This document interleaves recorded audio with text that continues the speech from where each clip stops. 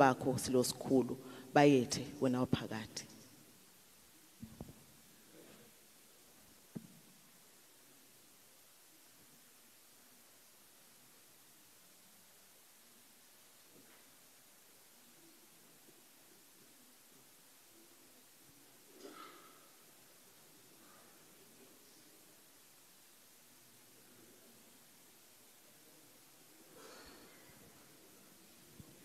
bayethe wena waphakathi.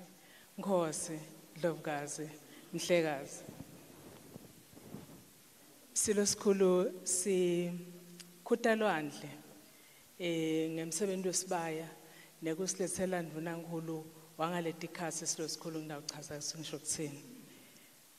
Siphindze silo sikhulu sibongele ingwenyama ikakhulu lapha etiko letempilo kuma-targets silo sikhulu la sesifike khona kusi HIV sesisedvute usiyi control eh i-TB siyakhona sesedvute usiyi control live lakho silo sikhulu lapha evele kade lelikhulu lase-Afrika lihambe ngekulungisa lo sicela nje utisho lokuthi ungiba mina ngingiliziwe ngingifunekile ngwakankosi ngisuka lapha eh enkundleni yasesipiki em um bayethu wena phakathi. Em chief wami. Ngu- eh, chief wami ngu- ngumntwana enkosi emniko. Indvuna ngumbholofidi dlamini. Bayethu wena waphakathi. Sengigijimele endzabeni silosikhulu yalosi kuyaphuthuma siyayidumisela siyadumisela live silosikhulu nge-leadership yakho etinfeni tetempilo nokuthi sedvute kangakanani nenhlitiyo yakho silosikhulu kunemanyeva-ke lamakhulu lapha eti- etikweni letempilo lamabili silosikhulu le ngitawuthi nje capho ngawo. Ngekho esibayeni kutsha lapho khona ingwenyama khona sive sikhona sonke.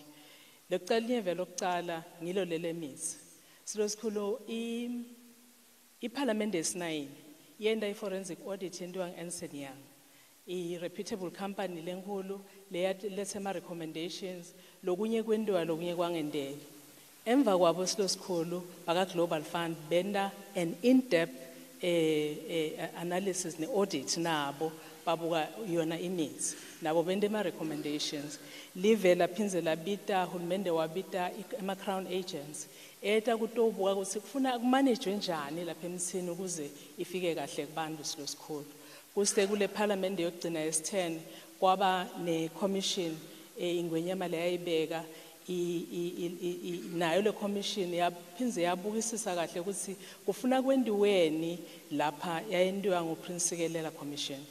Eh kwendiweni lapha emthini. Silo sikhulu nanyalo lapho sikhona khona sibuka leyo ndzaba. Linyeva leli silo sikhulu lelikhulu kakhulu lelifuna silidvonculwe lapha etiko letempilo ukuze sive siphile.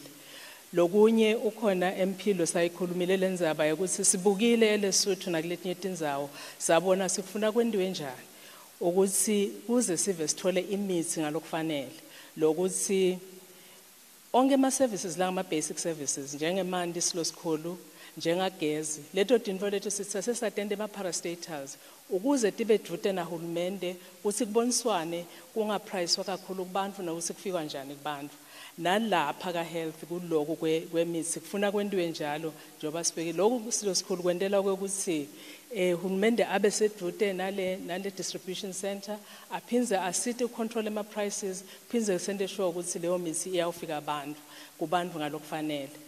Ukuze litiko nesive sivikeleke silo sikhulu lapha ekuthane njengana kulokwenteke kulomnyaka lophelile kuthi kungaphutha kufika kwetimali silo sikhulu nasivala umnyaka wetimali silo sikhulu sikhanze ukuthi litiko li-underspend nga-23 we-recurrent budget lengu-2.4 billion.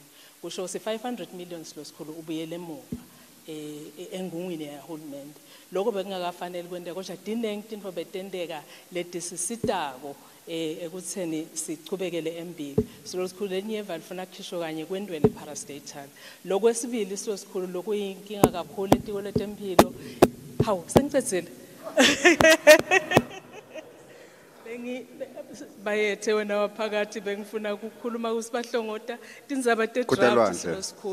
Sikhulu eh wakho lokhona lonyaka nguyena yena ngco. Lotasisita kusi silungisele lokho. Bayethe wena waphakathi. Ngozi ndlovukazi mhlekazi.